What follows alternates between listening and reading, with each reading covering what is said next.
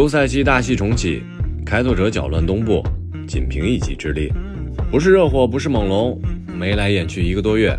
事实证明，相爱的两个人想要在一起，从来靠的不是时间。字母哥之前暗示有了效果，利拉德如愿进入冠军争夺。只不过，那个刚说要终老，最后被卖掉的是朱哥。开拓者还没完，再把朱哥换给凯尔特人，足以让东部震慑。太阳送走了艾顿，反正那哥仨也不需要这样的中锋。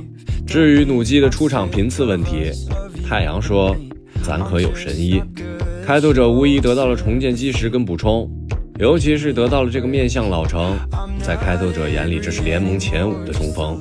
只剩下重在参与的热火，啥也没捞着。巴特勒那边说要调查雄鹿，此中真谛来历不知道你懂不懂？掘金暗中观察。都是挑战我的吗？阵容齐整的湖人也是静观暗流涌动。哈登七六人，你到底还动不动？那边快船可还在等。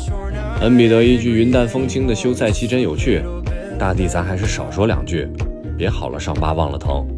凯尔特人完成了最大的补充，老对手勇士也没闲着，又是后卫又是签盖伊，主打矮小夕阳红。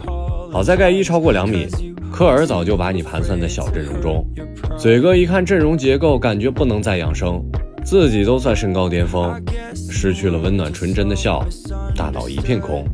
可能他也想到游戏里找一堆高个儿，一统江湖。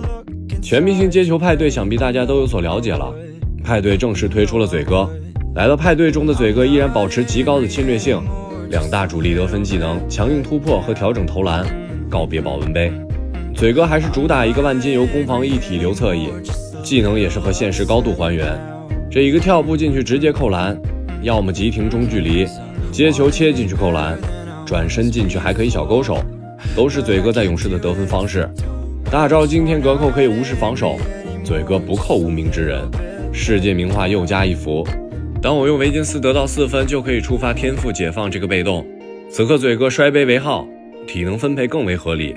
篮板盖帽能力会大幅度提升，盖帽角度增加二百四十度，再加上调整投篮的得分能力，也就是季后赛模式的嘴哥了。